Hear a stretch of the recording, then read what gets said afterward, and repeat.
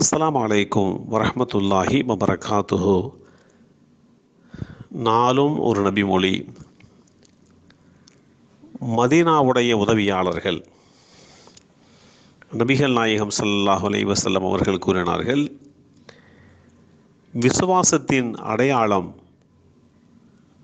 அன்சாரிகளை உதவி செய்தவர்களை நேசிப்பதாகும். நயவஞ்சகத்தின் அடையாளம் அன்சாரிகளை அதாவது உதவியாளர்களை வெறுப்பதாகும்.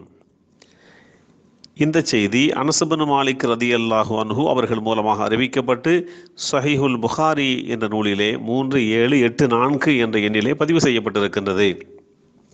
இந்த நபிமொழியிலே அன்சாரிகள் என்ற அரபி வார்த்தை இடம்பெற்றிருக்கின்றது.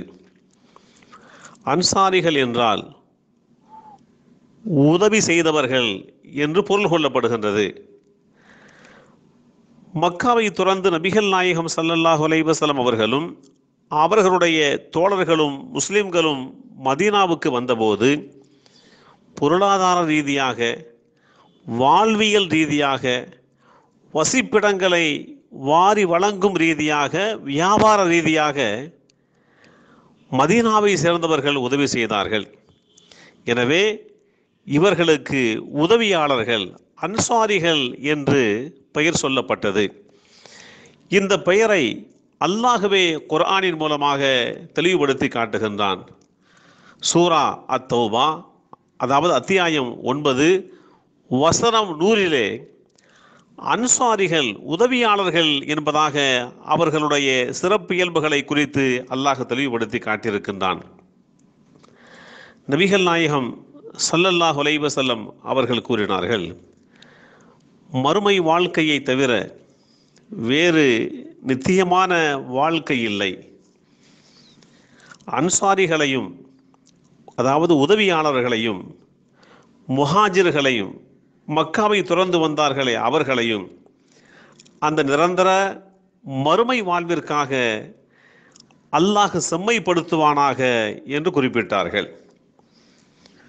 இந்த செய்தி சஹிஹுல் புகாரி என்ற நூலிலே மூன்று ஏழு ஒன்பது ஐந்து என்ற நிலை பதிவு செய்யப்பட்டிருக்கின்றது. இன்னும் ஒரு கட்டத்திலே யா அல்லா நீயே சாட்சி. அன்சாரிகளே அதாவது மதீனாவை சேர்ந்த உதவி செய்தவர்களே நீங்கள் மக்களிலேயே எனக்கு மிகவும் பிரியமானவர்கள் என்று நபிகள் நாயகம் சல்லல்லாஹ் ஒலைவசல்லம் அவர்கள் அவர்கள் மீது வைத்திருக்கக்கூடிய அந்த நேசத்தை தெளிவுபடுத்திய செய்திகளையும் நபிமொழி தொகுப்புகள் நமக்கு தெளிவுபடுத்தி காட்டியிருக்கின்றது. நபிகள் நாயகம் சல்லல்லாஹ் செல்லம் அவர்கள் இன்னும் ஒரு கட்டத்திலே இப்படி சொல்வார்கள். என்னுடைய வாழ்க்கையிலே மக்காவை துறந்து மதீனாவுக்கு வர வேண்டும் என்ற விதி எழுதப்படவில்லை என்று சொன்னால் ஒரு அல்லாஹுடைய தூதராக பிறக்கின்றவர் மக்காவிலே பிறந்து அந்த மக்காவை துறந்து மதீனாவுக்கு அவர் புற பயணம் புறப்பட்டு வர வேண்டும் என்ற விதி எழுதப்படவில்லை என்று சொன்னால் நான் மதீனாவிலே உதவியாளர்களோடு நான் பிறந்திருப்பேன் அன்சாரிகளாகவே நான் பிறந்திருப்பேன் என்றும் குறிப்பிட்டு காட்டியிருக்கின்றார்கள்.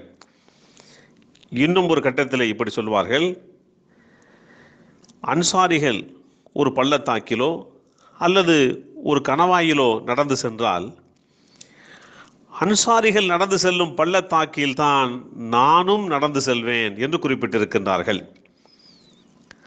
சஹிஹுல் புகாரி என்ற நூலிலே மூன்று ஏழு ஏழு ஒன்பது என்ற எண்ணிலே பதிவு செய்யப்பட்டிருக்கின்றது.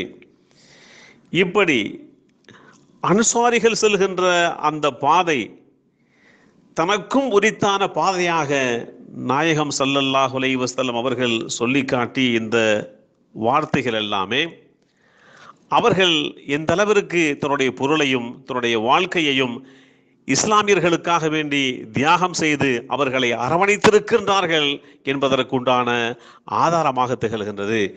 எல்லாம் வல்ல அல்லாஹு தாலா மதீனத்து அன்சாரிகளை நேசிக்கக்கூடிய நல்லடியார்களாக நம் அனைவர்களையும் ஆக்கி வைப்பானாக. அஸ்லாம் அலைக்கும் வரமத்துல்லாஹி வபரகாத்துஹு.